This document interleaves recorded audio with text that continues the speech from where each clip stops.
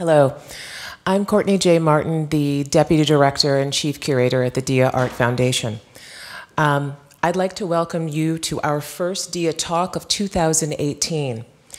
It is a pleasure to be hosting a conversation between Yve-Alain Bois and Benjamin Buchloh on the subject of Francois Morellet's exhibition at the DIA Art Foundation.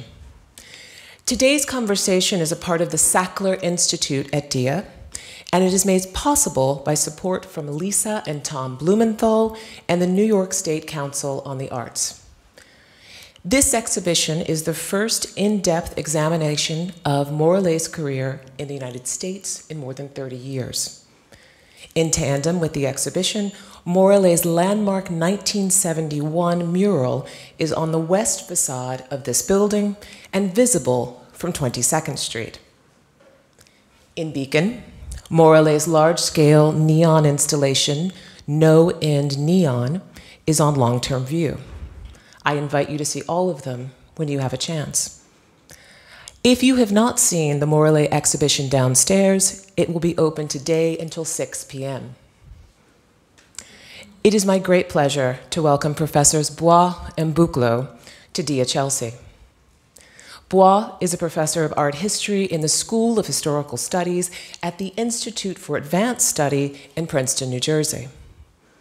In the 1990s, Bla, sorry, Bois' painting as model set a formative example of modernist critical discourse for entire generation.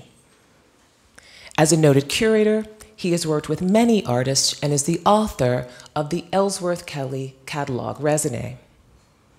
Bois knew Morellet and has written about him, most recently in the 2016 October anthology of Morellet's writings. Benjamin Buchloh is the Andrew W. Mellon Professor of Modern Art at Harvard University. Buchloh came to prominence in the 1970s as the editor of Interfunktionen, one of the most important post war European art magazines. In both neo avant garde and culture industry, essays on European and American art from 1955 to 1975, and Formalism as Historicity, Models and Methods in 20th Century Art, Buchloh advanced an interconnected account of the key issues of 20th century American and European artistic practice.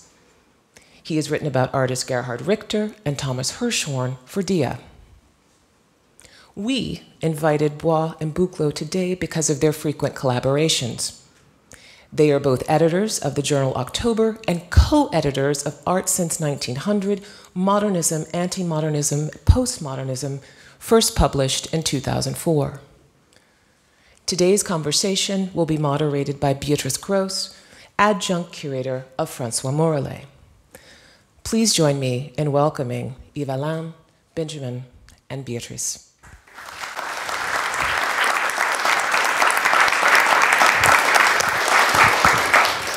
Thank you, Courtney. Thank you all for joining us today.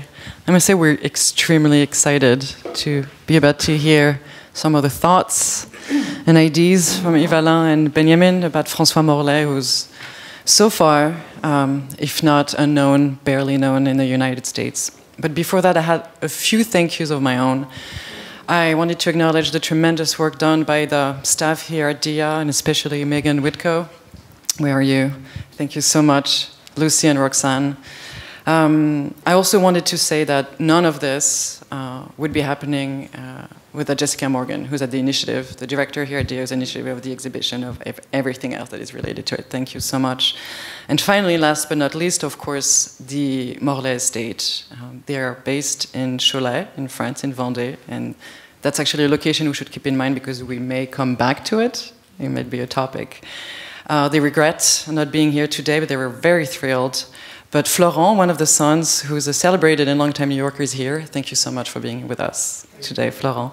Um, the collaboration has been so gracious, ongoing. We couldn't do any of this. And we're also creating a hope of bringing our new voice to a scholarship that hasn't happened so far. So thank you. Thank you, thank you for that.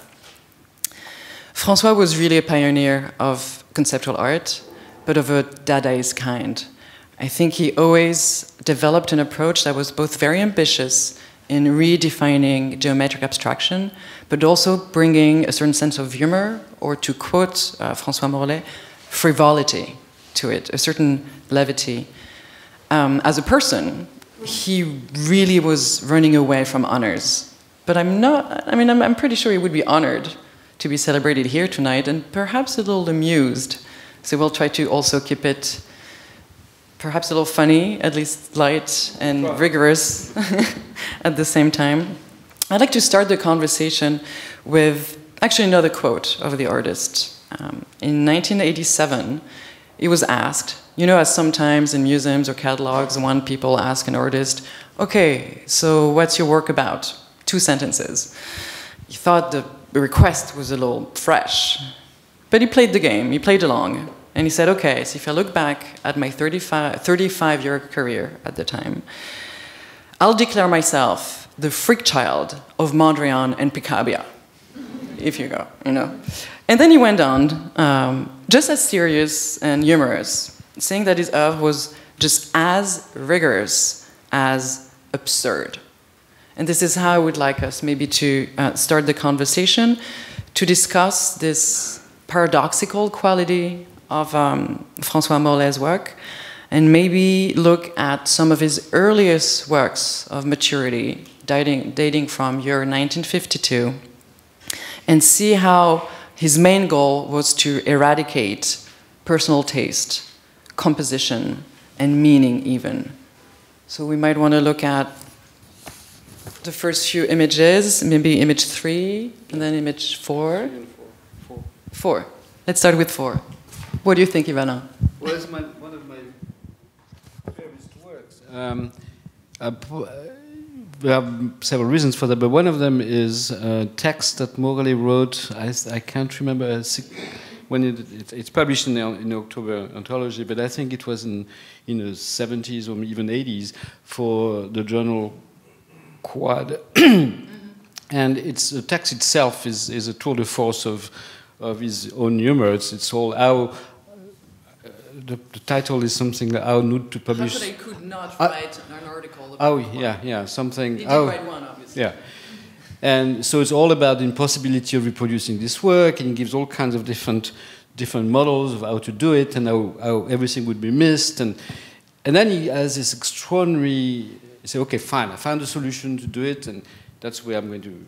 It's not exactly the way the, the work is, but he will give a good idea. And then he, decide, he starts, he, he, he, makes a kind of count of the amount of decisions that he had to make to produce this object.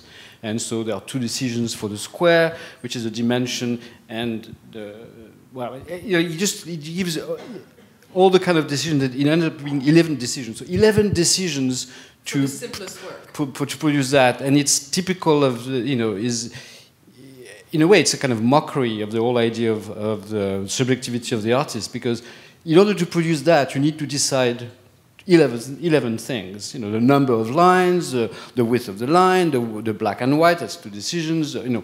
And uh, this is, uh, and in, on the other hand, he's also extremely rigorous in, in his own, he applies a system, oh, I will divide a square into uh, whatever number of squares the, the, the, system is decided in advance, but it shows that there's a kind of absurdity, a kind of impossibility to eradicate subjectivity. And he, he does that in a very, you know, funny way. But uh, in the meantime, exactly as you say, very.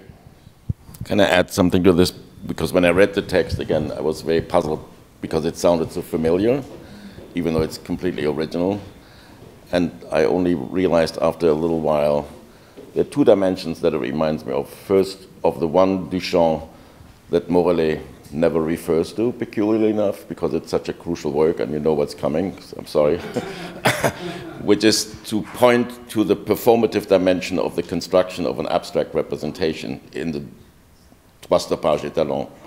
Right? So there's an exact description of what does it take to produce and to construct this peculiar looking object. The other dimension that it reminds me of is, of course, Sol LeWitt instantly, who also talks about the performative dimension that have to be incorporated in the construction and the definition of the work. So once again, he's quite clearly partaking in an incredibly important historical transformation of bringing performative processual operations within the representation and the discussion of the representation itself, which is clearly completely independent at the same time. Yeah, yeah. But, but, the idea of being, you know, this idea of being uh, here, you, you said Mondrian and Picabia partly because I suppose he thought that the irony of Duchamp was a little too castrating, and Picabia a bit less, uh, less so.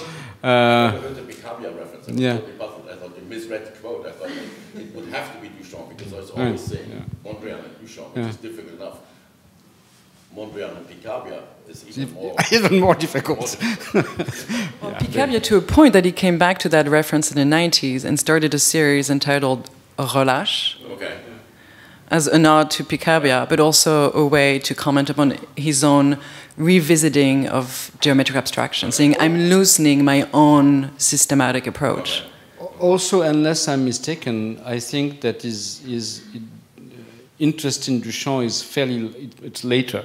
He, come, he had a fairly early on, rather, you know, he was rather distanced from Duchamp. And you can see in his text, and there's a text that he wrote, you know, oh, finally, yes, I like this guy, yeah.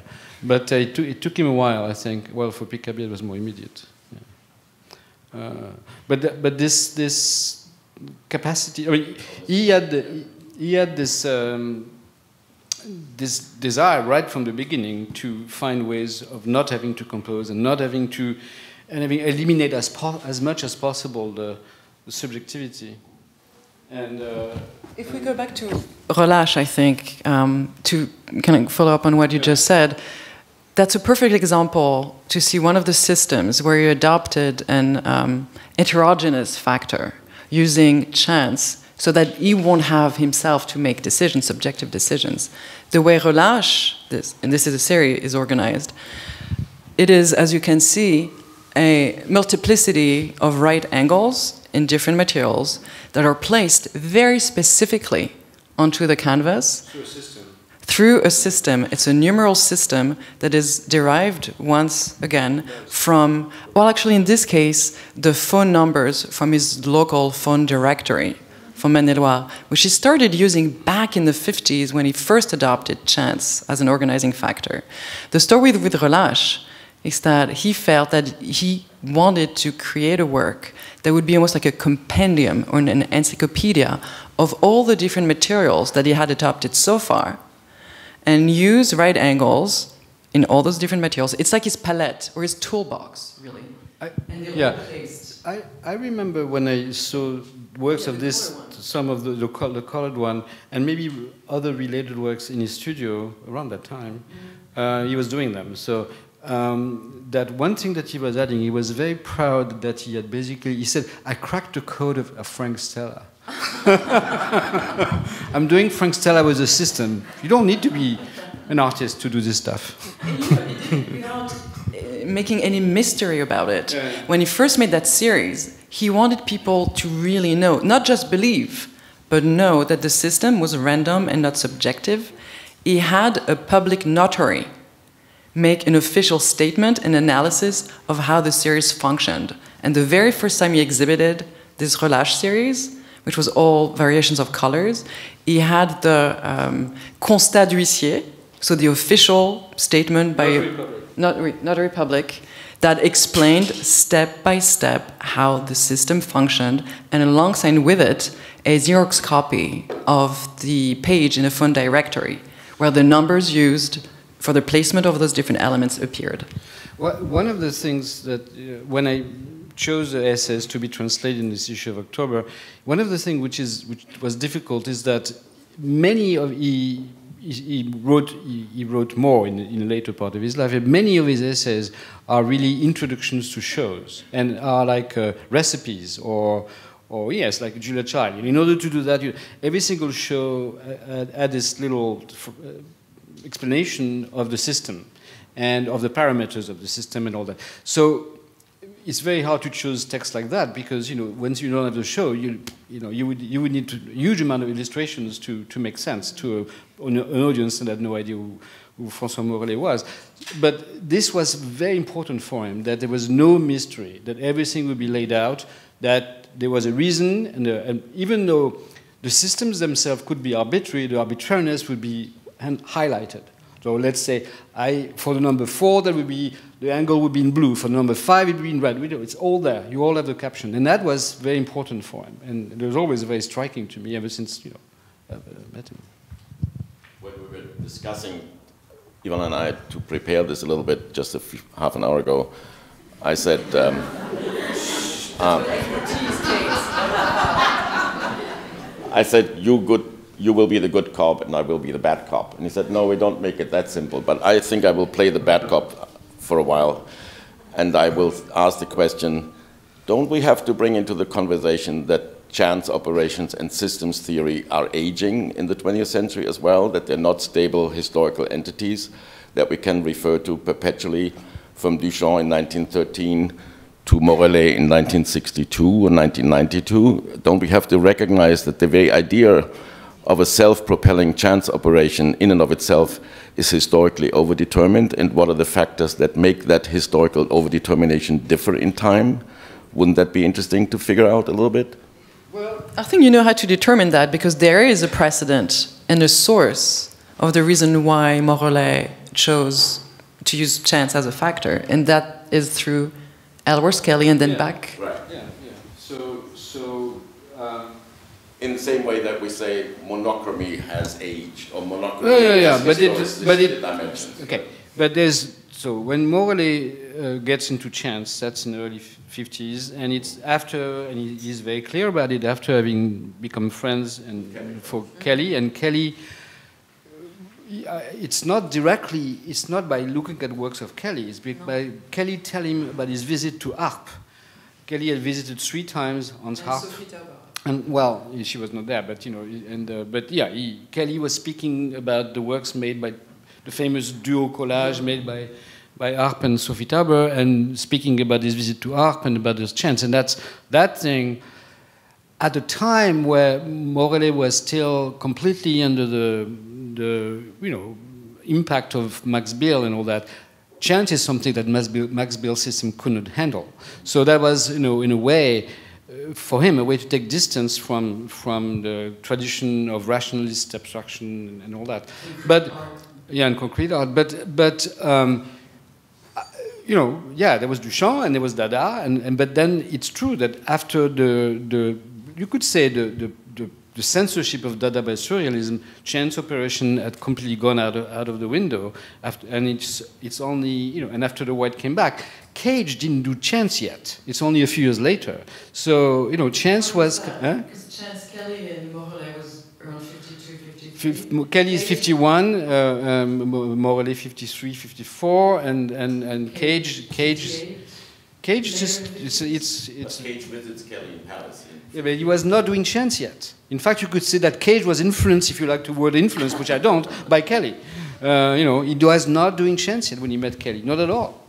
Uh, so uh, the chance had been basically kind of repressed, uh, bizarrely, uh, by the war or by the all this period. And I think surrealism, because it's it completely misunderstood the notion of chance and had, had, a, a, had a role to play in that. Recoded it. You can't misunderstand chance. You can interpret it. Well, it, yeah, it, it, it's super determined by the, in, by the unconscious and all that, which is not, was not what Duchamp had done at all. But I think that there is a, yeah, there is a revival, post-war revival, and this post-war revival of chance is the same as a revival of other things, like the monochrome or this or that, which are all systems to try to eradicate subjectivity, because subjectivity had given Hiroshima and, uh, you know, the, and, and, uh, and the Holocaust, basically. That's what the, that was a, that was a post-war context. And, and this reaction, if you were to see it or qualify it in terms of art history rather than more general world events, um, don't you think maybe Morellet was reacting also very radically against um, lyrical abstraction, for instance, or art informel? Of course, of course. Yeah. And, that, and of course, and that was, this was, you know, I mean, you could you could have an interpreted, or some people did, the lyrical abstraction or the informel or as chance, but of course it was not chance. I mean, it was it was chance that was not. It was chance that was not uh, theorized as, as chance. It was. He's, norm- he's normally very polite and gentle, but when it comes to Mathieu, he becomes very vociferous. Right? That's good. Yeah. So Yeah. that's where it becomes becomes clear that that's not acceptable to him. No, no, no. Well, he, he was also gross, but uh, you know, a royalist, right wing, you know, showman. Oh, come on. But there's almost something, not to be provocative myself, but reactionary in Morellet. I believe that he several times repeated that he only adopted this certain form of geometric abstraction because he was reacting against something else. And had he born, be born in a different period, he, he might have been just being reacting against mm-hmm. yet again another movement or. Yeah, that's that's actually we were discussing with Benjamin in the five minutes to prepare. that you know, it's interesting to see. There's always this comparison made between American artists and, and, and Morellet and all that. And Morellet himself was often, you know, tempted to, to you know, he looks like Lewitt and he looks like so, you know. And all this, all this war of, of I did it first and whatever, which I always felt. We could perhaps look at the couple of words. Uh, yeah, we can. Yeah, and I always, you know, felt it was uh, silly, and I remember I told him, just as I told Ellsworth Kelly for the same reason, the precursors don't exist. It's like it's a, the worst way of, of speaking about anyone is to say he's a precursor or she's a precursor of that. Would you want to be? Would your goal in life to be a precursor? No, I mean it's absurd. It's, a, it's an anachronical construct. It's, a, it's conceptually it's a wrong it's a wrong concept. It doesn't work. But what's interesting is when you make differentiations about you know different people is that you look at what indeed they react to. And Morellet and Sol LeWitt, because that's a famous comparison, that's, that's the one I, I wrote about, um, and it led to this huge polemic in flash art and all that. Um, Morellet was reacting against certainly lyrical, lyrical, abstractions and other things, uh, l'école de Paris, the post-cubist stuff and all that, and he was, and, and uh, Sol LeWitt was not reacting against that, he was reacting against expression, but also pop and you know, whatever different things. It was not the same. It's not. It was, and Morellet was was a product in a way, a transformative product of of uh, geometric abstraction, which LeWitt was not at all. It was uh, you know. So it's interesting to see the, the you know what how the flavor, even though sometimes it's very similar, how the flavor of things differ because of the context completely. Although, wouldn't you say that they both, Sol LeWitt and Francois Morellet, shared a quite similar interest in uh, Russian avant-gardes? Yes. I know they both yes. looked a lot at con constructivism. Yes, and yes, and probably Morellet so more than, than LeWitt uh, because there was more availability. I have a little list of dates which I think is interesting since you said precursors are not the issue. Of course, I'm not saying that they are, but it's interesting to see Rauschenberg was born in 25, Morellet was born in 26. Uh, Allan Kaprow was born in 27, and then we have the annus mirabilis of 1928 when you have Sol LeWitt, Donald Judd, Andy Warhol, and Yves Klein all being born in 1928. And I think it's not a question of precursor, but it's a question of what are the positions that are formulated by that generation, which is quite remarkable how they differ. And one could, for example, advance a provocative proposition, which I'm doing here, what to say, Yves Klein is the figure who spectacularizes the monochrome. Morellet is the figure who subjects the grid and the logical systems of the avant-garde to advanced forms of anticipating extreme practices of total administrative order. Right? So these are the extreme historical epistemes between which artists in the 1950s who reposition themselves in relationship to avant-garde models are defined whether they want this or not. So it's not the same to make a grid in 1952 as it is, I, mean, I don't have to say this, but just emphasize that there is no continuity. There's much more of a rupture than a continuity, I would say. Between the original historical avant-garde and the second post-war avant-garde practices. So when you show the grid, the 1953 work, which you just showed, it has to be recognized as being operative under completely different historical circumstances. That it's not the logic of Mondrian that is performed here, but it's, no, no, it's, it's right. It's the logic of a completely different historical order, which is also in its tautological vac vacuity lacking the utopian dimension that Mondrian had articulated. Except that This is atopian and not utopian, right? Except that I think that with regard to that, um, at that time, and even until a bit later, Morellet still had the utopian uh, avant-garde. Uh, later, not. Later, he was much more. I, I wouldn't say cynical, but uh, much more. Let's say, well, you know, les révolutions, ça vient, ça passe. But yeah, I think so. Then, yeah. through the 60s, yeah, yeah. And after 68, uh, you know, uh, you know, he, that was that was it. But I think, uh, I think that the beginning of the GRAV, you know, which which ends in, at the moment of the Biennale, yeah.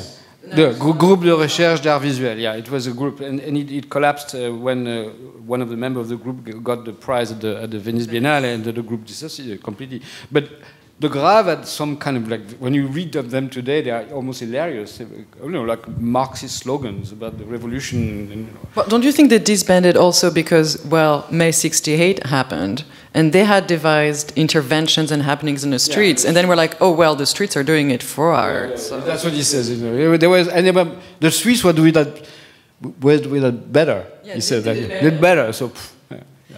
but I think that the, I think that for quite a while he still had, and you could even say that even Max Bill, for um, all the problems, still had this idea of a, of a utopian, uh, you know, future paradise and all that. That disappears.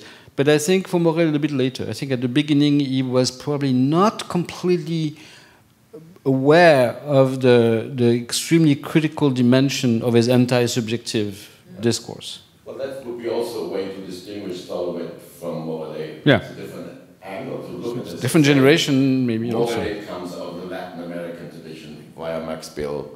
And of course, the Latin American tradition of abstraction and art concrete is, in a strange way, out of touch with history because they really established a continuity of pre war and post war utopian practices in abstraction, which in Europe was completely impossible. So they bring that back to Europe, and Bill is the key link figure, and Morellet follows that to some extent, whereas Sol LeWitt comes out of a completely different trajectory. Yes, he reads Camilla Gray in 1962. Yes, they look at the Russian mo- model, but they look at this already th- mediated through their distanciation from American abstract expressionism and their distanciation from pop art, right? For them, pop art was the enemy to be overcome in many ways. It was not an attempt to establish a continuity with Russian avant garde models or abstraction or systemic models in that positive utopian coded sense, right? But don't you think that with Sol LeWitt, the, his understanding of seriality also played a huge role? And the fact that the chronophotography by Muybridge was such a trigger Yes. via Flavin, which is a rather interesting Right. path, uh, gave him a more investigative or narrative approach to his first modular works in 64. But it was a seriality that was not aiming towards radical equality, for example. It was a seriality that was much more aiming for okay, it was much more aiming at the model of self-defeating purposes of meaning production in the sense that Sol LeWitt was an avid reader of Beckett, and that was the model that for him was crucial. Morellet as crucial. well. Morellet was obsessed by meaninglessness, Okay. by the fact that he could do and he was familiar with Beckett. And he was obsessed with next to nothingness, presque rien. But it's still something. And he actually, that's where he liked to quote a stand up comedian for our French compatriots, Raymond DeVos, a reference, and saying, Raymond DeVos, I don't know. Yeah, he plays I'll send Godard. you videos. He's, he's uh, the character in, the, in uh, Pierrot le Fou, in, in the you know the, the guy who uh, speaks. That's the most highbrow reference you could have on Raymond DeVos because really it's much more mainstream than this. And he, François Morellet often quotes DeVos saying, Well, I really have nothing to say, but it's so hard to say it. Like it's so hard to let it known that I have nothing to say. But that's what John Cage said too. And Lewitt, in a sense, as well. I, I, I have nothing to say and I'm saying it. It's a Cage statement, right? except I think Morellet was not familiar with Cage yet. No, no, no, no, No, much, much later. Maybe um, if uh, one last thing about this work, because also it, it is really a masterpiece that has become a matrix for Morellet's work in general. One of the uh, also triggering influence, again, not the only one, and we all know that the notion of influence is a detestable notion. But what happened is the year before, in 1952, Morellet starts his material production based on seriality, thinking of basing his work on systems, but not quite there yet. He goes to Granada, south of Spain, and visits the palace of the Alhambra and is incredibly impressed. It's, I think, truly an epiphany of finding work that is based on the repetition of motif, the variation of negative and positive, and the anonymity of the maker. And that was one of the most instrumental influences for Morellet in the becoming of serial systems. Yeah, that's true. I like to. Can we have the image 23? Because I want to make also a little characteristic difference between Morellet and, and, other artists.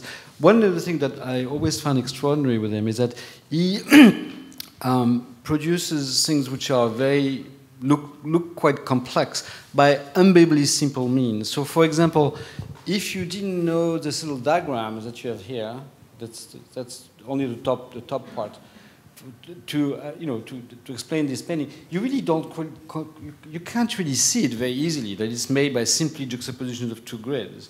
And it does happen, this happens always, uh, very often with, in Morellet's work. The systems are elementary and it's how to produce complete surprise out of total repetition and you know yeah simplicity and i think that is that is very different from the american from the what LeWitt is doing in fact it's almost contradictory on that point to that level uh, and that's something that i think he was very proud of that a slightless displacement can produce something that is completely um, unexpected, unexpected even, yeah. Yeah. maybe we could look at image 17 because I think it, it does combine that very idea that we mentioned earlier of random, but also extreme complexity visually and incredibly simple system. We have here a random distribution of 40,000 squares using the even and odd numbers of a telephone directory. Oh, by the way, just glad that you uh, underline the titles. All the titles are very explanatory. The last one was, I don't know, tire, you know, it gives the angles, it gives the angles, and that's it. That's all you need. And here you just know, you have like a, you know, even and, and odd numbers of the telephone, and that's all the, the, the parameters are, are, given in the title, which is quite an amazing, uh, which you have also in LeWitt in some of the wall, wall paintings. Before, but, but what uh, happened really is they had the square divided into 40,000 smaller squares with his wife and eldest, eldest son at the time coming back from work because for the first 20 years of his career, he was working in the family business, so painting in the evening over the weekend. And so his wife or son would read out loud the numbers from the phone directory, just the last digits. And I was wondering about that. Which digits were they reading? The last ones? Yeah, the last ones. And if they were odd or even, they would be a cross or left blank. And then depending on that random distribution, he would paint it one color or the next. And that was to him really a random study of two colors clashing. And you look at it and you, it's impossible to figure out what the system is, and you do read the title. And so he was, I think also one of his main goals was to never mystify people. He was actually wanting to demystify. Absolutely. He was, uh, in fact, in his uh, in his slight kind of polemic, or not polemic because he never never polemicized, but uh, with that, but uh, in the, the famous uh, thing with LeWitt, that's, he was not the one polemicizing. Could you maybe? I'm not sure everyone is very familiar oh, with yeah. that polemic. so he, he was not the one who started this ridiculous, uh, you know, polemic. But there's one thing that he said about LeWitt, which I always found very funny, is that he he always thought that LeWitt's um, you know, the fuzzy lines and on the wall and all that uh, was too sentimental and all that. And I, I, I remember telling him, but no, it's a, the wall. It's, a, it's an imprint of the of the rugosity of the wall. He never believed that. He said, no, no, no. LeWitt liked this sentimentality. And but he never accepted this explanation.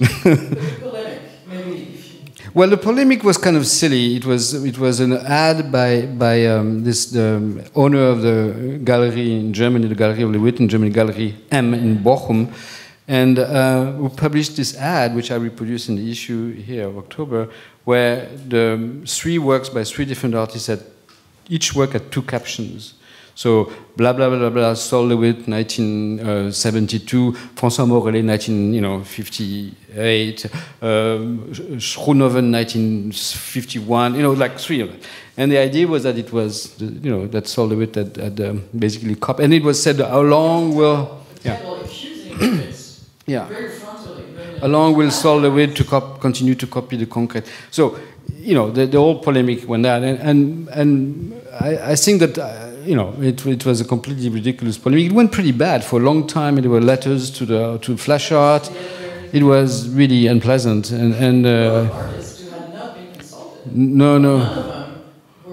Well, I, I, I yeah, well, I think that probably at some moment, at some point, probably the, there was the, probably I don't know. I never met Mr. Alexander von Berswordt, but he doesn't seem like a very he doesn't look like a very nice guy. But uh, yeah. No, no, no, no. Yeah, I was basically, and I'm not the only one. It's like, yes, those things look very similar, but they are very different because they are first they're different because they have different contexts. They come at different historical times. They're not produced the same way. LeWitt's image is 195th page of a book, to which you can see the progression. You know, uh, they are different, and they look, they do look the same. Uh, well, not the same. They do look very close, and they look more the same than they look different true, but nevertheless they have different meanings because of all these different things, and it's it, one doesn't need the other one to exist, and so you know that's uh, that that's the, the, you just have to learn that sometimes formally things can become very close without I mean, being you know genealogically linked, and so. Um, can we go back to the painting for a moment? I think it's the the, oh, the, the répartition 40 yeah.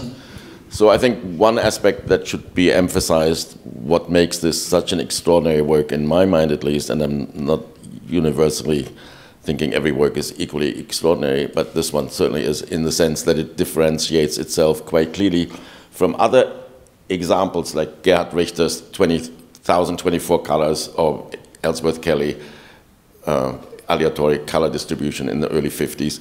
So what we reach here, for example, is a quantitative leap that I think is incredibly important, that it is really 40,000 digital imprints, so to speak, that are manually produced. So all of a sudden, the principle and the system and the aleatory operation reaches a dimension that had been previously unthought and unthinkable. Well, this is, this is pretty big too. Well, I don't remember the not, numbers. No, but it's not 40,000. No. Right? so I, the, I, don't know how to count very well. but, but the partition into it's, this. It's 5,000 maybe. The partition into this extraordinary digital detail yeah. is what makes the Morellet all of a sudden look incredibly prescient, right? Because it recognizes that chance operations will become operations of increased forms of control and recording rather than chance operations will remain extreme forms of self-determining liberation or self-determining self-constitution, which as it had been touted initially. I think that is what makes those works so sp specifically different from the legacy of positive utopian chance operations. Yeah. Now, with regard to those, are, unlike Kelly, Kelly did two works by chance that are systematic. This, the, the, the, the, one before, one before that, yeah, no, no, no.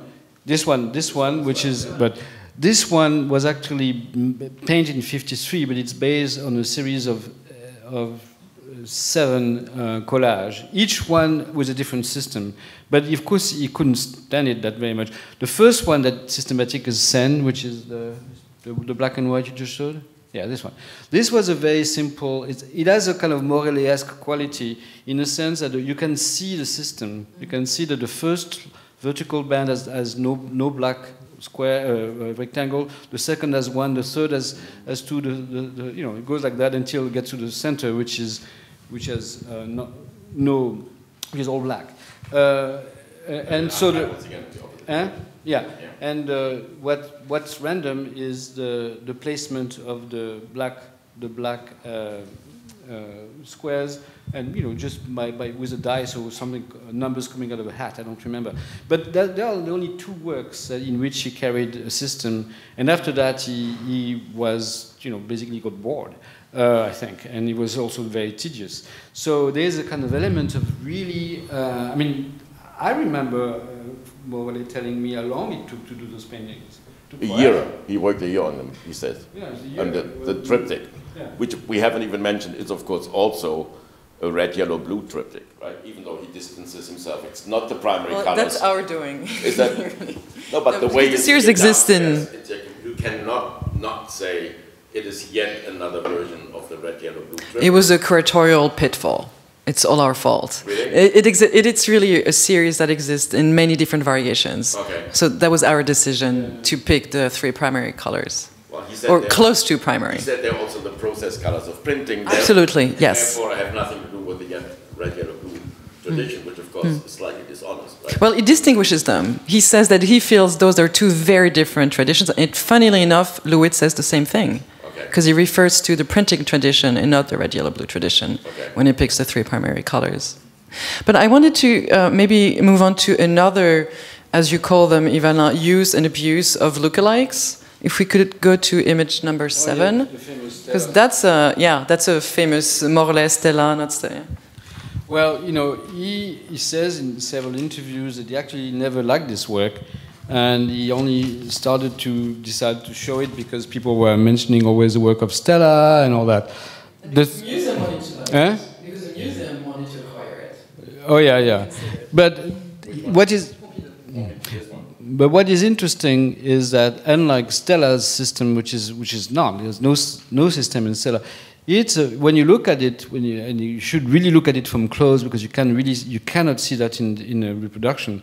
The quantity of blue and red um, in the in the bands and uh, and of uh, uh, blue blue and yellow, yeah, change with the the, the quantity the lines the bands are made of except for the, the blue the, the center blue one and the center yellow one and the center red one and the center yellow one there all the bands are made of lines of two colors. And the two colors are from the adjo- adjoining colors. So it's, it was a, an idea of calculating exactly the quantity of surface covered by a color in order to, to see how you can place uh, blue or, or red in the middle, uh, going from blue to yellow or from blue to, or both time from blue to yellow actually.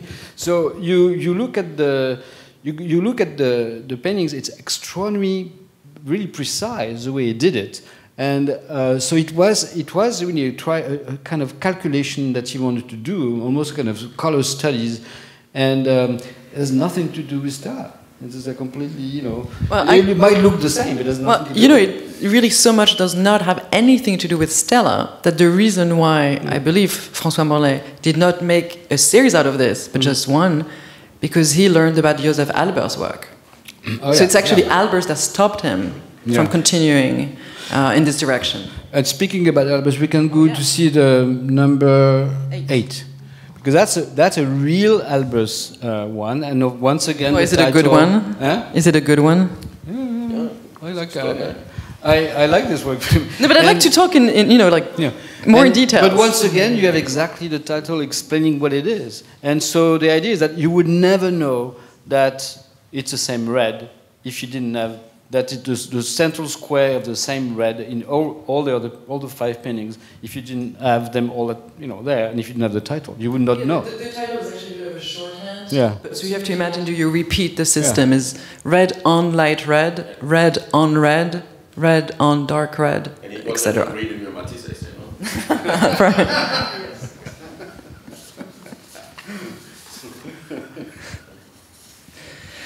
If we could go back maybe to the, since you just made a pretty good one, let's go back to jokes and humor.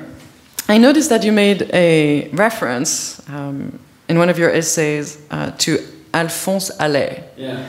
And you were talking about monochromes and achromes. And this is actually, if you could maybe Well, Alphonse Allais was a bit. this uh, um, write, comic writer who was also in charge of um, invented a group late 19th century invented a group called les incohérents and they would make shows and would meet kind of like um, I would just détournement shows in the salons and whatever. So he he made fa- famous. He he made they made objects, but also prints and and, and, and and catalogs and books. And there are a famous famous series of monochromes by Allais, which are like a, you know a white monochrome, and it's uh, it's a, maidens meeting on a, on a, on a snowy day. I, I, wrote it down oh, for you. The first communion of chlorotic young girls is snowy weather. It's a monochrome. So That's a white one, and then there's a black one, which is of course. Um, I don't have the black one. Yeah, it's like a. Uh, and then you know, so he, that's that was and and Morellet's father was great, very fond of uh, of Alphonse Allais, and so that was probably one of his first. Uh, uh, you know, interest in literature was was through this, and Allais was a kind of, uh, you know, he was a kind of dadaist avant la lettre, un précurseur. Just, uh, yes. Uh, so he was a very, you know, a, and, and they, but what's interesting is that his group produced works of art that was not only literature. That was that, uh, and that that was not that well known, and, and um, it was known at the time. But but the Musée d'Orsay made about ten years ago an exhibition of Les, Incohérents, and you could see that they, you know they had a practice, it was an artistic practice. So actually, Morellet abandoned color quite quickly, and if we were to talk about, if not monochromes, at least blank canvases, maybe we could take a look. Uh, image 32 and works that he started developing in the mid 70s. At some point, Francois Morellet, or at least that's what he stated, felt that he had done what he needed to do on the pictorial plane and decided to treat painting as an object, as a substrate. So barely um, draw anything on the surface and then address through the canvas so painting as an object, the um, mode of representation, and colliding the logic of representation or representing something in painting or not representing anything, and the logic of presenting that very representation. The idea was to have two logics getting into an accident and questioning really what the white cube is. Can I go back to the question of humor and Allais for a moment? I think it's very crucial also in the debate of Morellet and his reference to I.K. Bonset and Theo van Doesburg and how much he was attracted to this dual figure, which was, in, as he said, he was, if I remember correctly, fallen by a disease of Bonset. He, got a, he caught the disease of Bonset, and Bonset, of course, was the figure that in many ways discredited the seriousness and the credibility of the style aesthetics and brought in the dimension of a subversive, humorous contestation, which is what Morellet does on many levels as well. And I'm, the more I read about this humor and the funniness of Morellet, I always thought there's also as humorous in performances and jokes always are an indication of discomfort. And I think there's this extreme discomfort in Morellet at times where the lack of credibility of what the historical paradigm provides has to be counteracted with a jocular dimension, with a humorous justification. So he knows that the desubjectivization through the system is no longer really an emancipatory act, but it might as well be an act of confinement or an act of submission.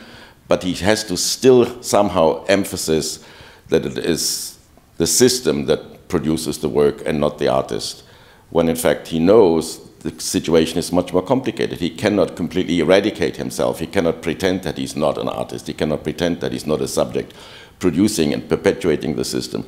So that schism is often resolved by a relapse into humor or into a funny response, which I think is a very specific condition for that moment of crisis. You don't have that sense of humor, for example, in a Robert Ryman painting from a similar situation, when you have a grid that almost looks like Morellet's grid from 1953, there's no sense of humor, there's no discomfort, there's a total commitment to the historical trajectory of extending the legacy of radical self-reflexivity of monochrome painting. So that, I think, is a really interesting disjointedness between the American and the European model. Yeah.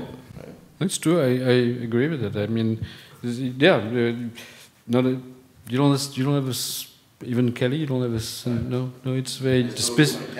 No, it's very specific to to the, the, European situation, I think, and and maybe uh, in reaction to the, the, intensity of the utopian desire that has been lost, which was never the case in America, or very little actually. Uh, just a brief moment, but it doesn't have this long tradition. Uh, so that might be the case. You know, it might be, yeah, the you know, revolution won't happen, and certainly not through art. So let's let's. Maybe I'd, like two things. To be fair, mm-hmm. if there's humor in the 1953 grid, I think Morellet realized it or admitted later. it only 20 years later. Yeah, later, yeah. It's in 1980. They was like, oh wait, I read. Yeah, the quad text. yeah, fantastic right. I went back. 1980. Right. So that's only later that he realized that maybe there was something funny about it. in 80. So, but I think that the sense of humor you, you starts a bit earlier than 1980. But uh, oh no, of general, course. Yeah. But if but, we were to talk specifically yeah. about the 1953 grid, yeah. the second thing is, and the, you mentioned discomfort, and I think it's I never thought of it in these terms, and I think it's so true. And there's maybe something of a self-sabotage, sabotaging uh, almost. To what extent can you put or eradicate subjectivity? and then remain an artist who still thinks that it's worth making art. Absolutely. Then it's nihilism otherwise, and he was far from being a nihilist. No, so. no he was not a nihilist. No. no. Well, you both have met him or exchanged with him. Could you maybe tell us a bit about your conversations? Where was that? In Cholet? In Cholet, and that did it So maybe you could explain. I'm not sure everyone knows about Cholet. Okay. Well, um, I don't know much about Cholet either. But you've, you've been there. I drove there. I visited him. I did a one-day interview for a research project that I was working on. It. Sorry. I, I spent a day with him in Cholet and his wonderful wife, Danielle. They were extremely generous uh, hosts. And we spent the whole day talking, which was my research project at the time. How do you relate to historical avant-garde models? That's what it was about. I mean, I, I talked to many artists at the time. When was and, that visit? Uh, must have been 90, 91. And um, I was, I might as well say this, at the time with my wife, Louise Lawler, and she and Francois Morellet loved each other because they were, had a similar sense of humor. They were unbelievably funny with each other, much more than I who was the, the cop, cop who asked, was asking historical questions. She, he and Louise were joking around, and Louise was taking pictures of the Morellet parrot and their wonderful photographs. And so I was trying, running after them, trying to ask another question about how did you relate to the monochrome? How did you relate? how did you relate to the grid? When did you see your first grid? so it was like, it was a pretty wonderful situation. that was my only, unfortunately, my only encounter, but, but it was a wonderful. What about you, Yve-Alain? Well, I met him several times, not that many times, but several times. The first time I was very young. You mentioned you were barely a teenager. I was a teenager, not a barely. what did you say? You were 13? 14 or 15, one of the two, I don't remember. Anyway, and that's um, I was introduced to him in a gallery, an opening, and by um, someone that I just met through my family that very day, Jean Clay, who was a friend of Morellet at the time, and and I, we had a long discussion and all that, and I think we corresponded a bit, but I didn't go to Cholet at that time. And, you know, I was living, I was not living in Paris, I was living in Toulouse, so. Uh, anyway, uh, and then I met him like 30 years later uh, at uh, an opening at the Pompidou exhibition called Premise, I remember. It was a, it was a completely, it was a non-show, uh, which was basically yeah, it was the they were showing what they had bought, what they had acquired since the opening of the Pompidou, which was actually quite phenomenal. Mm-hmm. So, and he was there, and he recognized me instantly. And of course, I had not seen him like in 30 years. That was impossible. And he said, "Well, you know, we were very impressed because you were so young. We felt that we had won." but typical Morellet fashion. Said, but rest assured, that didn't last long. so it was, uh, and then we, we had a we had a you know, exchange, you know, several exchange in, in correspondence after that because I was writing this piece that is published in October was actually the first publication was in a it was a lecture at an, uh, con Congress, Congress, you know, art history Congress. One of those things that people never read. You know, they, they are the acts of the yeah. So that completely disappeared in some kind of boring, dusty publication. So I decided to republish it. And but that was in the early 90s, and uh, I was that when we communicated quite a lot Because you were among the earliest. I mean, there has been Lynn Zelvansky and Thomas McEvilley who wrote wonderful things, and they were the earliest in the U.S. really to pay attention. And then it was you. So the last time I saw him was uh, 10 years ago, and we, we, we kept co- corresponding for various things, but I went with my two sons, who at the time must have been, well, they were 25 and 20. And um, Morellet was already sick, and he, and he, but he was always making, you know, often jokes about that, and uh, typical uh, of his fashion. And he, he said to, to my kids, um, and we were together because not because I'm going with my 20 year old and 25 year old kid. Yeah, no, no, it was for some family uh, business, a wedding or something. Uh, we passed.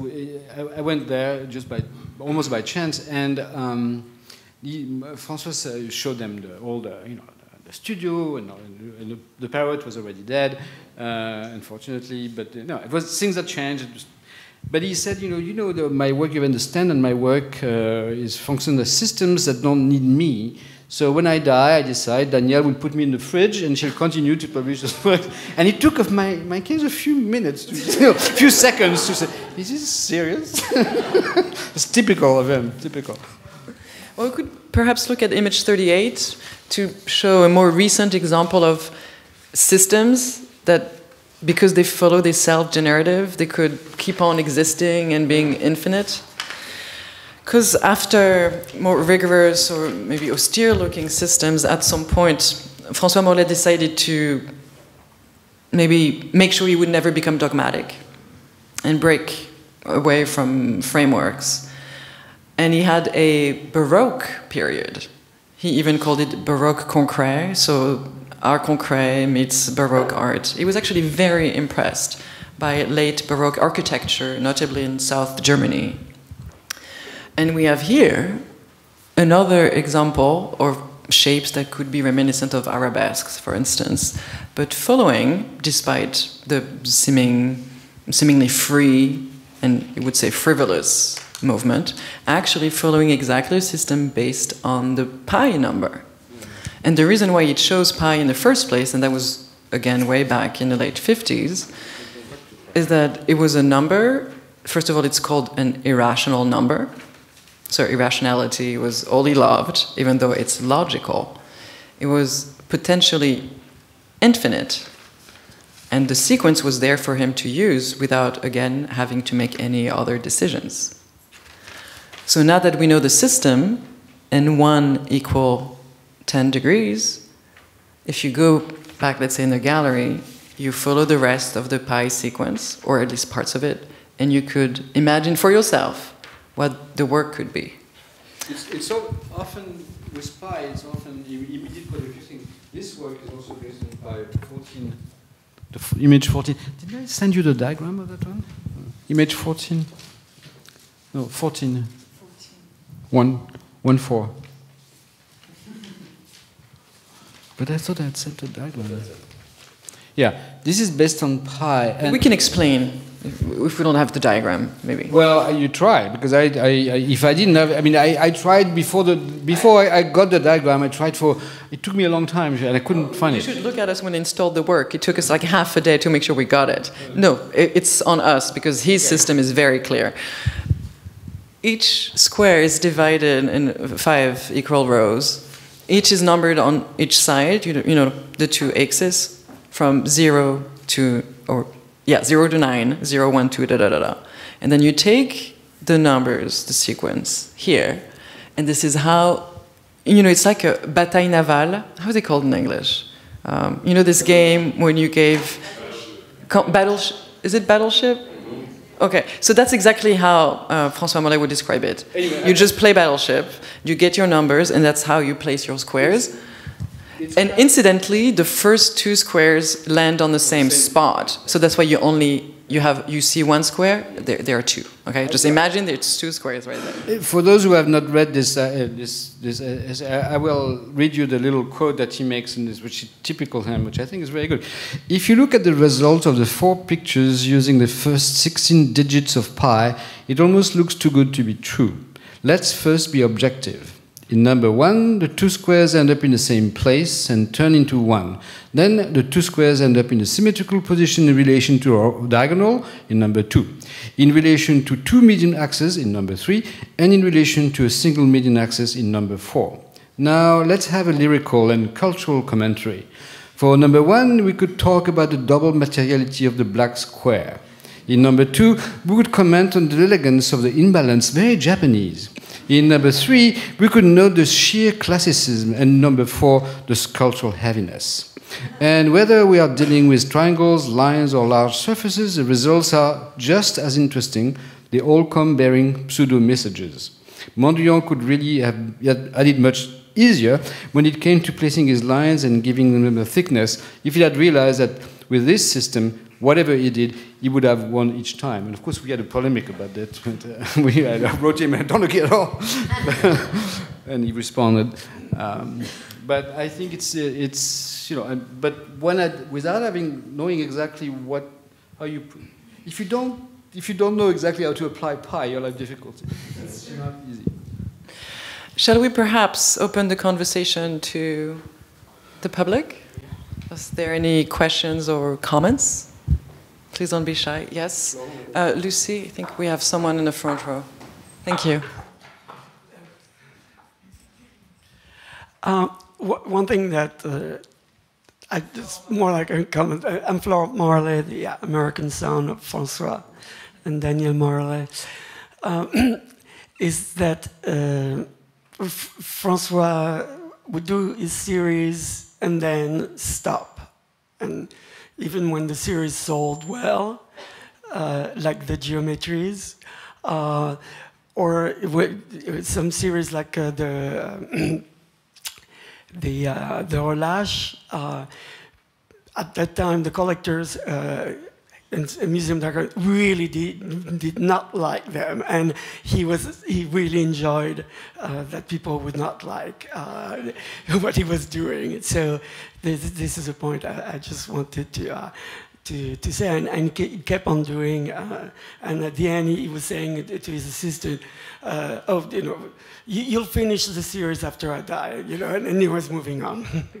thank, thank you. Something that should be, uh, as a, a, little point to add to what Florent did. One of the things that was remarkable uh, for him, and, and he, he, recognized himself that it was an extraordinary situation with plus and minus, is that he didn't have to. He was not an artist. Um, he was an. Was a you know, he was a Sunday artist for a long time. He was not. He, was, he had a job. He was directing or, or, or, helping in a factory of toys, and that was his job. And so he didn't have to sell to survive. 20, over 20 years. Or more, yeah, yeah, until the. Until 75. So yeah, yeah. yeah. So he, he, he was not a starving artist. That's you know. So he had some. There was some envy, probably some part of artists. But you know, he said, "Hey, you know, you can spend all the time you want in your studio, and I can't." So it was a kind of. Uh, but he certainly was never at all, uh, never the slightest uh, interest in the market per se. For you know, was not the problem. And, uh, he was not. It was not. Uh, he even said that's what guaranteed him his complete um, artistic freedom. Yeah actually, not to have to care about the market. Uh, yeah, uh, Professor Buchloh brought up something that I think is huge about uh, humor. Of course, we're immediately engaged. But it can come from something difficult, like the fool in Shakespeare. So the root is really a need. It's interesting. It's not, it's just funny. Not at all. It's really important and consequential. Not only what it comes from, but what it makes happen, what it provokes, is really, I think, very big and very complex. And for me, this was the best uh, revelation of, uh, I mean, it was terrific talk, everything was great, but this was, for me, the point that was really sharp. I thought maybe to illustrate your comment, thank you so much for it, is the piece that you see, the neon piece here, which is really a deconstructed circle. You can imagine all those arcs would form a perfect circle. This is dangling from the ceiling, and the artist entitled it Lamentable, like pathetically dangling from the ceiling. So it is both funny and challenging, difficult. Thank you. Anyone else? Yeah.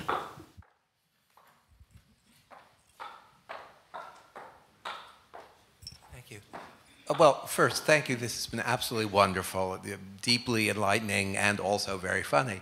A good combination. Um, but picking up again on the theme of the funny in Alphonse Allais, uh, it seems to me that the, the, the link between Morellet and Allais that you've sketched here has uh, historical resonances or implications. Uh, One of the, the, the ideas that's been in play here is that there's a tension between the early utopian or sincere moment of modernism and a later ironic moment, uh, non utopian moment. A, a few years ago, the conservators at the State Russian Museum in Petersburg were doing a close study of Malevich's first Black Square, and they discovered that there was a quote from the exact same Alphonse Allais series you were alluding to on the back of Africans fighting in a coal mine. So that it would appear that this kind of ironic sensibility was actually there at the birth of monochrome abstraction. Does, does this change things if, if, if we see Morellet as going back to the beginning as opposed to contrasting with the beginning? Well, I think he was doing both. He was. I, I, I don't think that he was contrasting a very early part. I think he was yeah, clearly referencing and getting back to the, the original of the you know, historical avant garde. I think it's later on he took his distance and became more ironic. I think there's a, I think there's a slight you know, evolution that becomes quite tense at some point in his, in his work. In his, in his, you, can, you can kind of trace where the moment, I think the moment he realized that, um, you know, the Bill system of utter rationality would not work and that you cannot, you cannot, uh, you can just erase data, for example, from the equation. And uh, so I don't think it's, the thing is to, to I, I don't think it's possible to have uh, either complete opposition or complete continuity. I think there is a kind of arc that goes in his evolution of his career. There, yeah, that's that's that's my that always been my my my feeling about when looking at you know all what he did. And I think that the later uh, his later production is more, I wouldn't say cynical because I don't like the there's the kind of the, the, the ring of the, the idea. I don't imagine him as a cynic, but uh, but but certainly, eh? Yeah, yeah, yeah.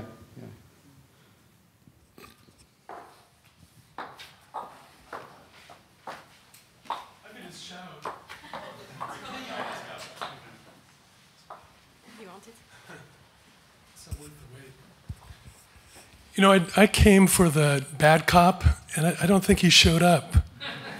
Um, and I'm a little disappointed. And, I, and I, I wonder if we're all a little bit too charmed by this artist.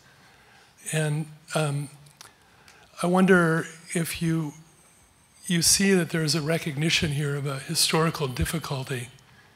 Uh, you know, it might be that he just played it out ironically. Another artist might have seen what Kelly presented and understood that one had to go somewhere else.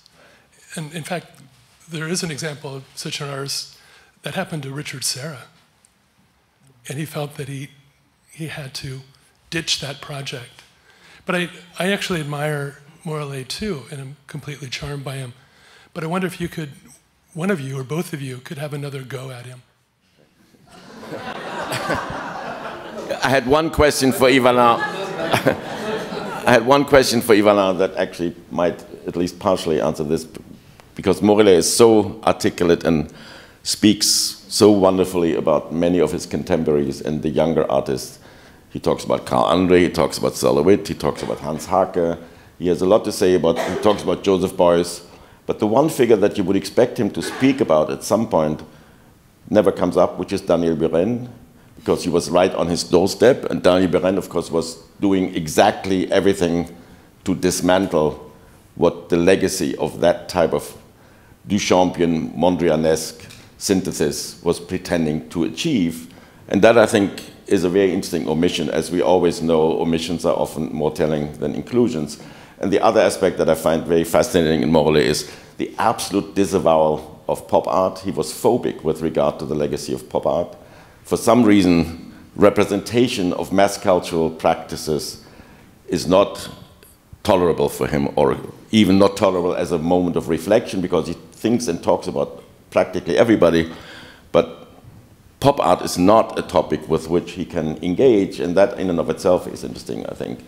So um, I'm sorry that I disappointed you with playing the bad cop, but I think. Well, maybe that's where you're getting the bad cop talking about yeah. Buren, a lovely person, but a bit of a bad cop artist, being very strict right. and serious about the reception and the consideration yeah. of his arts, which I think was a very different temperament or personality. Buren typically talks about Kelly quite emphatically, how, how important Kelly was for him and how important, yeah, and how important Barnett Newman was for him, but he never refers to Morellet either. So there's a very interesting historical disjointedness. Or Gallic pride. That's what Americans say a lot. Buren never speaks of Morellet? No. No, well, I don't know. I mean, uh, not. I don't know. Maybe Morellet speaks somewhere about Buren. I don't know. I mean, I, it's true that I. Uh, I don't know exactly. I mean, I, I, suppose not the same generation, and uh, you know, and maybe the group, you know, the way the group BMPT became. BMPT does somewhere. Yeah, he does mention, and he kind of liking them. I think they was, that they did was good. So it. But I think it was mostly in his um, reflection or thoughts about collaboratives yeah, and the relationship with the institutions. Yeah, yes. I remember vaguely, but so, but, uh, but yeah, he doesn't speak about the repetition of the of the bands of. of and as with regard to pop art, I I, I, uh, I suppose it's a I have no, no you know, I, I think it's probably really a kind of French prejudice, but uh, prejudice against. Uh, I, I, don't. I mean, I, I, or maybe it's just generation. I don't. I have no. Well, he didn't like the nouveau realism. Yeah, I was about to say. Right. He makes this one remark about César, yeah. who just did a joke when he compressed his 1st mm -hmm. car instead of continuing his real sculpture, right? Mm -hmm. Which is also a very strange statement to make because if César was ever interesting, it was when he crashed the car, not when he made the sculpture. so Morellet takes a very conservative yeah. position on that level too. Yeah. Yeah, no. So these are generational disjointedness, but it's also a parent. But it's it's very interesting. But I think there is also you know because of different context. I suppose that in France at the time, with with what he wanted to do against subject, all the the pop would have been read very differently than in America at the time. I mean, I'm thinking about, for example, Kelly was always very interested in pop art, and in fact, he even claimed to have invented pop art, typical. Uh, but you know, the artist with whom he liked to exhibit the most until the end of his life was Roy Lichtenstein. So it's a very different. Uh, I think the. Uh, the context, yeah, explain the grids. The, the grid of lecture would have been different. I think. I mean, I don't have any explanation why he disliked pop art as much, but bon. I know because I was very close uh, that uh, he liked very much Roy Lichtenstein. Ah, uh -huh. There's uh, print in the kitchen uh -huh. there in the house. So, he, uh, so it will be wrong. But Roy Lichtenstein is, you know, went in, in different direction, but still, it's. it's yeah, yeah. yeah. They, they really like each other. Huh. I introduced them. Yeah. well, maybe one, one or two last question. Well, thank you all so very much, and thank you to our distinguished guest, Yve-Alain.